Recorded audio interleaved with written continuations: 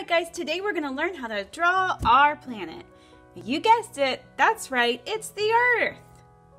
So, to get started today, all you need are these things. A blank piece of paper, pencil, eraser, and something round that you can trace.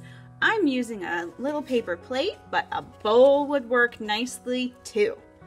So, I'm ready to get started. I'm going to take my piece of paper and set it down, and then I'm going to flip my plate over and set it in the center of my paper.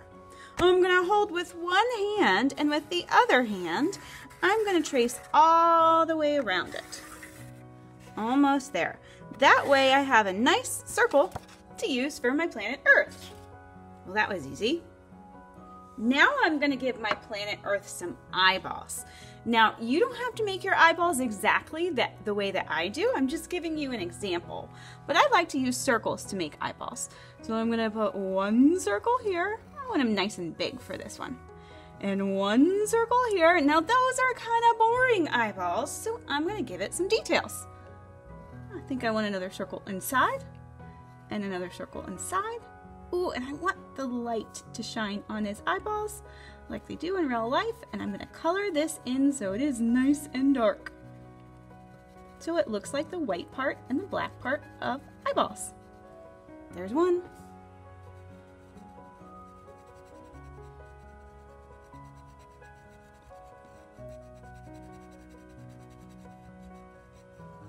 And two. Now I've got my eyeballs. Now, can I be silly and add some other things? Like I really liked in the video how he had these crazy eyebrows. So I think I'm gonna give him eyebrows this time.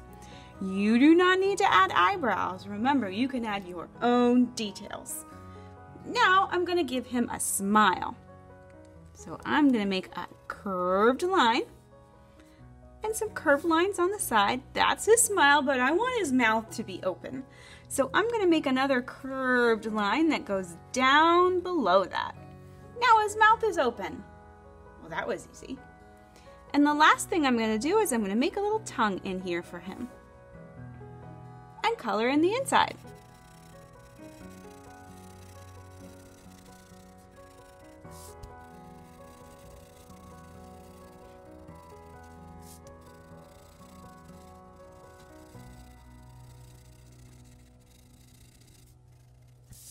All right, now I've got his face on there.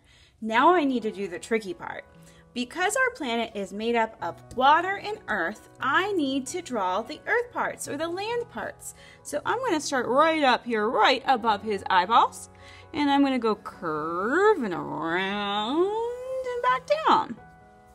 It's kind of like, it's almost like hair for him. It's kind of silly. Now I'm to do some land on the other side, and this one's a little tricky too.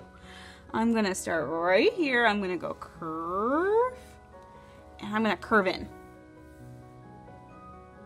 It does not need to be perfect, friends. And I'm going to go, ooh, and I've got the bottom part of that land.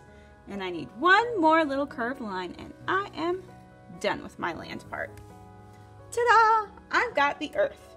Now, if you want to, you are welcome to go over it with a permanent marker like I did, but yes, you need to add color. And here's mine. Good luck, have fun!